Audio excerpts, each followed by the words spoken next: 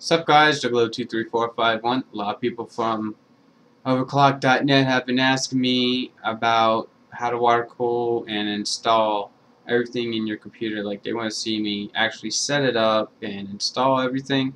So before we get to that, we're going to start what I do personally uh, before I even water cool. What I like to do is research on what parts you want. You want the right fans, the right radiator, the right CPU block, the right pump, and so on and so forth. Everything goes together. If you don't get something right for one thing, the next thing, it's like a domino, won't work out well.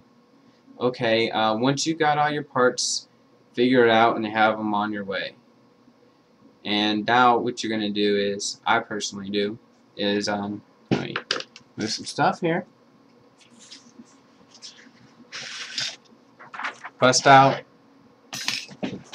good old-fashioned white piece of paper, your pen. And what you want to do is draw yourself a rectangle. It may sound stupid, but trust me, it will help you out in the future. Alright, say this rectangle is the case. Alright, so basically have an idea what I want to do. I want to mount the radiator on top of the case. So I'm going to draw a little line here, put rad. Then I am going to draw a mini rectangle representing the motherboard, okay? Then I'll put the CPU roughly around here, give or take, and then I'll have the GPU. Alright. And the reason why I put GPU right here in the CPU is because I'm water cooling both of them. So I'm basically putting areas on the motherboard that I'll be water cooling. Alright, next I'll be putting the um, reservoir slash pump and I got the uh, MCP 355 pump with the XSPC dual bay reservoir for the MCP 355 pump. So I'm going to put pump slash res, okay? And this is what it looks like. Doesn't have to be pretty, you know, it's just a rough sketch.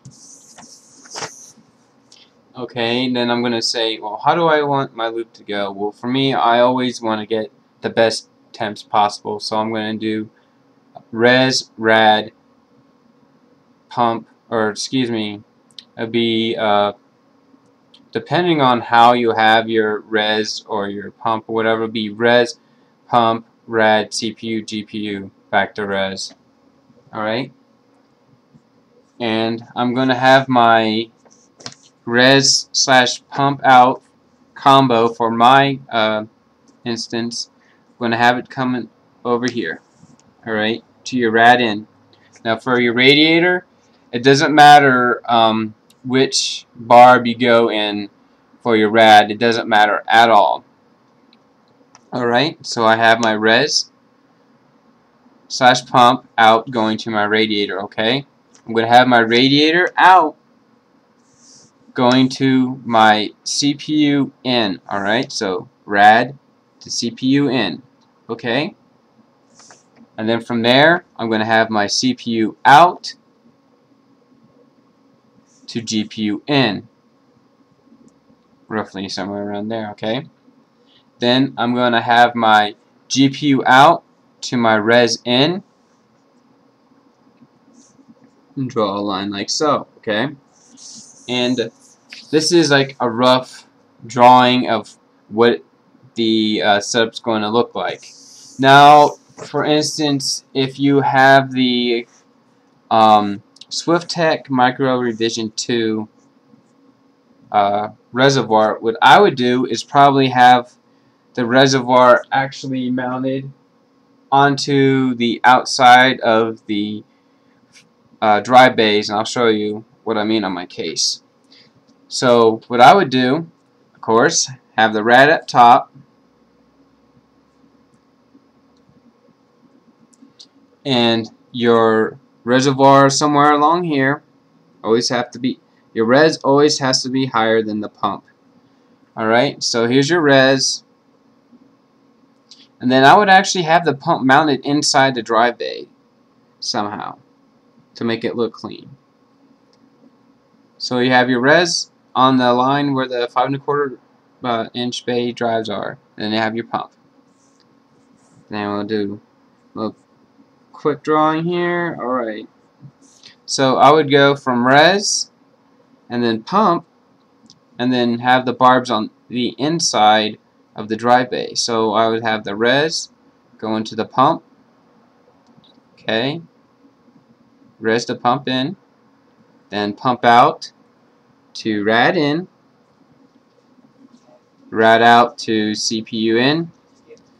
CPU out to GPU in. GPU out back to res. And that's what that would look like. That's just like an idea. You know, always experiment, draw a couple different formats of how you want your loop to go. That's what I would do personally, okay? So let's get started and uh, look at my case, and I'll show you what I was talking about, uh, the macro revision.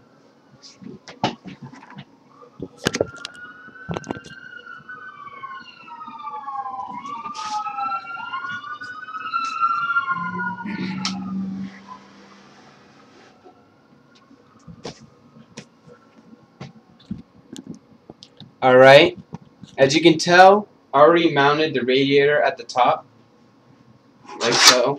Let me uh, actually get it so you can see it right there. Screw here, screw here, and screw here.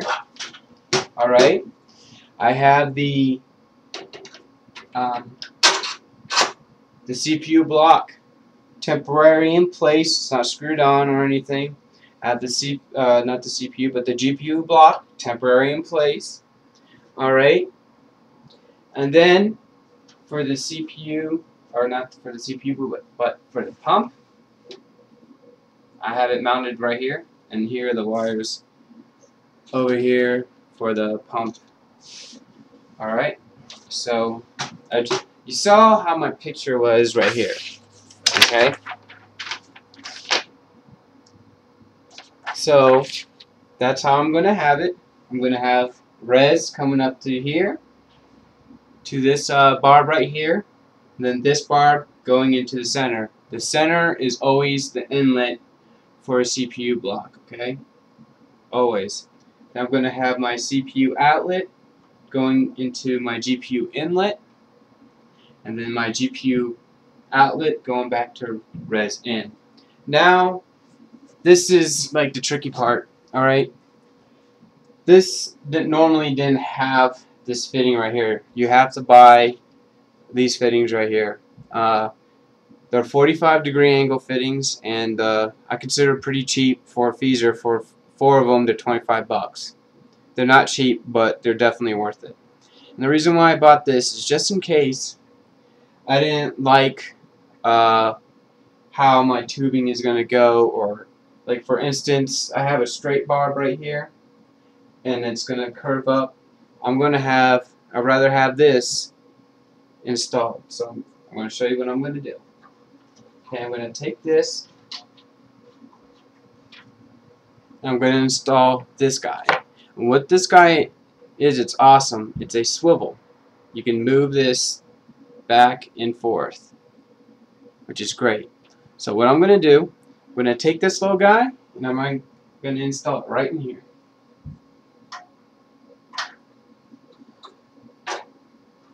It's a little harder to do it with not the with the case not being down. So hopefully I can get it. There we go.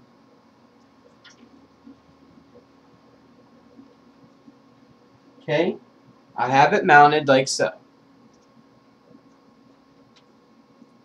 And then I'm going to take the swivel part and I'm just going to move that because the 45 degree angle part of this is actually movable. Alright? And I'm going to see if it'll look alright when I do my loop. So I'm going to take my barb right here and I'm going to install it like so. and see if it looks alright or not.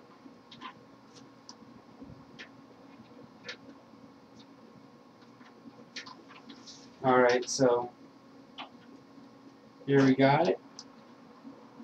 It's installed and everything, but looking at it, really doesn't look right. I don't like it how it, the basically the tubing is going to be real tight right here when I have to do that. So I'm not going to do that. So I'm going to take this 45 degree angle, uninstall it, and just use a standard straight bar for that. Alright.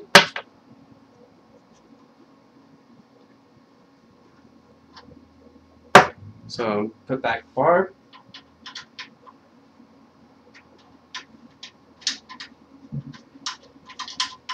And screw it back. Alright. Since that didn't work, I'm going to go down to my CPU or from my CPU to my GPU. Alright? Now I have everything mounted up, looks good. And uh, what I did for uh, the GPU out going to the res in, I used a 45 degree angle. The reason why is because I don't want it to go straight up like that. So I got the 45 degree angle, so it'll be a nice smooth arch going to the res in like so. And then it'll be the whole process will repeat all over again. You have your pump out to your rad in rad out to CPU in, CPU out to GPU in, GPU out to res in. And uh, I guess that's it. Comment, subscribe, rate this video. Should have another video coming up pretty shortly. Thank you. Have a great day.